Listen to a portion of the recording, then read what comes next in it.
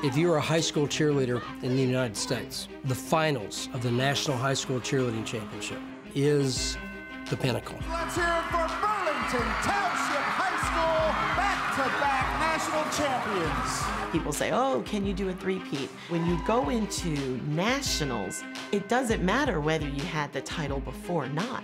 Everybody starts on an even playing field. Three, four, five, six. I've been coaching Southwestern for eight years, and we went from being a nobody to, oh, that name sounds familiar, to, oh, wow, this team is always in the finals. The fall was the worst possible thing that could happen. It replays in my head every single time I get on those mats. Could they have actually won that last year?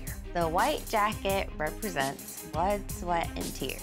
This being her senior year, her last chance to get a white jacket. You'd think the thing was made by God itself. Five, six, seven, eight, one. Southwestern just did that better. Got the heel? Every time y'all let a scale drop, somebody's creeping up closer and closer. They have a title to hold on to. I definitely don't have everybody's brains in it. I don't, I don't understand. I don't know. I mean, y'all got to get with it. Ready, three.